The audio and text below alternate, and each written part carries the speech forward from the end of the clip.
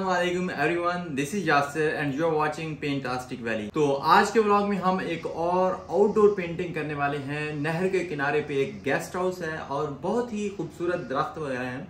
तो वहाँ चलते हैं और आउटडोर पेंटिंग करते हैं।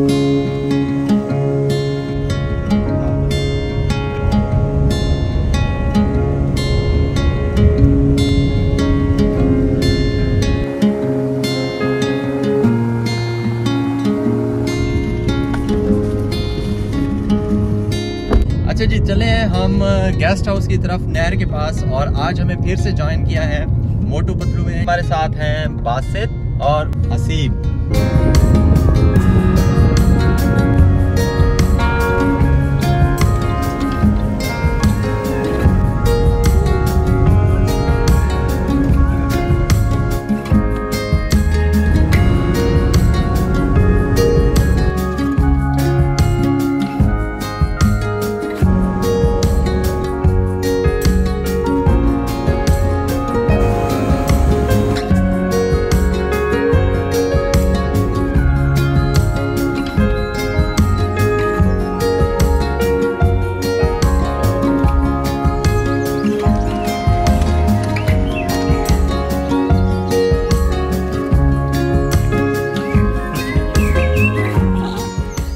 अच्छा जी यहाँ पे हमें एक स्पॉट मिला है कि इन दोनों ए, मतलब के सड़क के दोनों किनारों पे जो दरख्त हैं उनको बनाएँगे और साथ में जो पीछे गेस्ट हाउस नज़र आ रहा है उसको गाड़ी हमने यहाँ पे खड़ी कर दी है।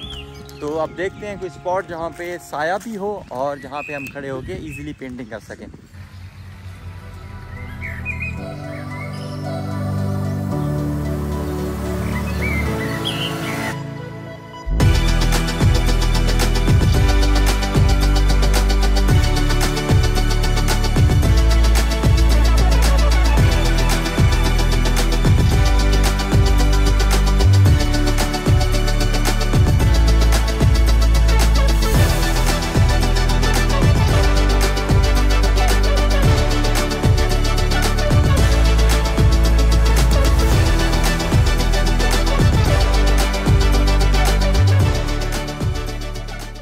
अच्छा जी यहाँ पे मैंने इसको ओवर राइड करने की कोशिश नहीं कर रहा हूँ। बहुत ज़्यादा डिटेल में जाने की कोशिश नहीं की। मैंने जस्ट एक कलर स्टडी की है कि हम डायरेक्ट ऑब्जर्वेशन से किस तरह बना सकते हैं painting just in one hour मुझे बस एक ही घंटा लगा है।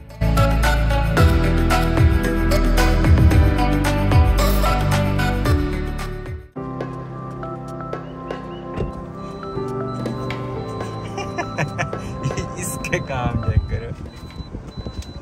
ये है साफ़ करने वाला।